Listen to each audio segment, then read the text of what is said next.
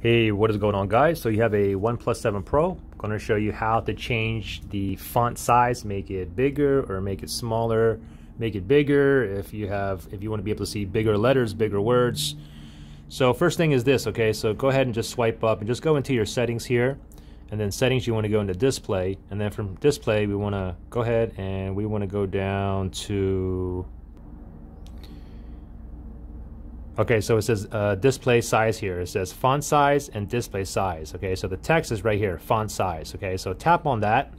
Now here's the default here, okay, and then you can go ahead, make it large, or you can make it small. So for example here, okay, so I have it on small here, even on the home screen. So it's on super small right now. So even on, like for example, you can see here, you can see how small the Netflix writing is. So if I go ahead and go back into here and I increase it all the way, now you can see the Netflix much more clearly. Okay, same thing is like this too. Like even if I go to a, uh, I'll go to a browser here, and you can see the size of the wording here. It's quite large. Now let me go ahead and go back, and I'm going to go ahead and make it super small. And now I'm going to go ahead and go back to the browser here. You ready?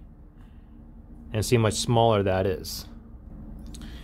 So there you go, pretty simple. And also just a uh, quick note too, if I go back into settings here and uh, we're going to go back down to uh, display.